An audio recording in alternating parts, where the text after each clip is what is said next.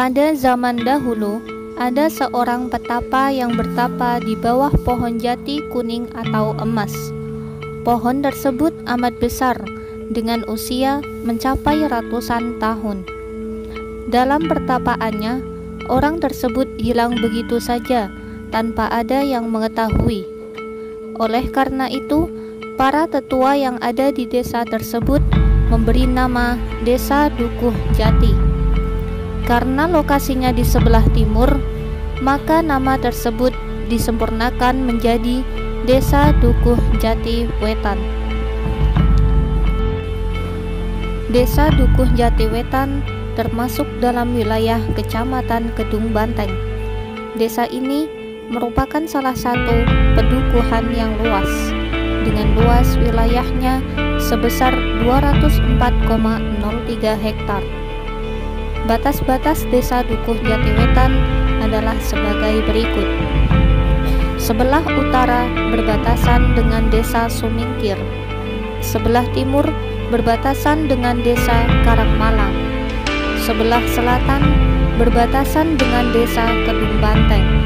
Sebelah barat berbatasan dengan desa Rancawiru.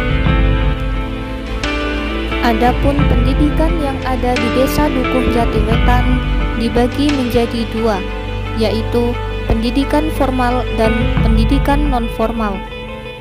Pendidikan formal meliputi yang pertama, KB atau kelompok bermain Anur, yang kedua TK Masyito, yang ketiga RA Falahuddin, yang keempat SD Negeri Dukuh Jatiwetan 01, yang kelima SD Negeri Dukuh Jatiwetan 02. Sedangkan pendidikan nonformal meliputi yang pertama MDTA Miftahul Ulum, yang kedua TPQ Al-Khuboriyah, yang ketiga TPQ Muslimat NU, dan yang keempat TPQ Anur.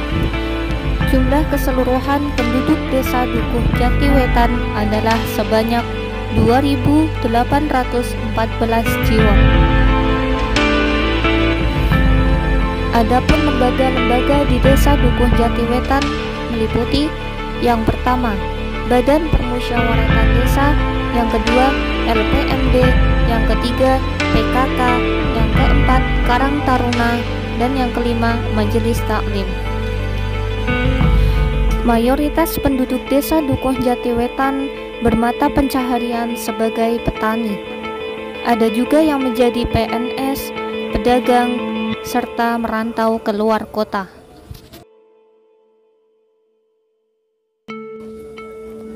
Adapun kondisi perekonomian di Desa Dukuh Jatiwetan sudah cukup baik. Hal ini dapat dilihat dari rumah warga yang layak huni serta berbahan dasar dinding tembok. Hampir keseluruhan jalanan di Desa Dukun Jatiwetan sudah diaspal dan dalam kondisi baik.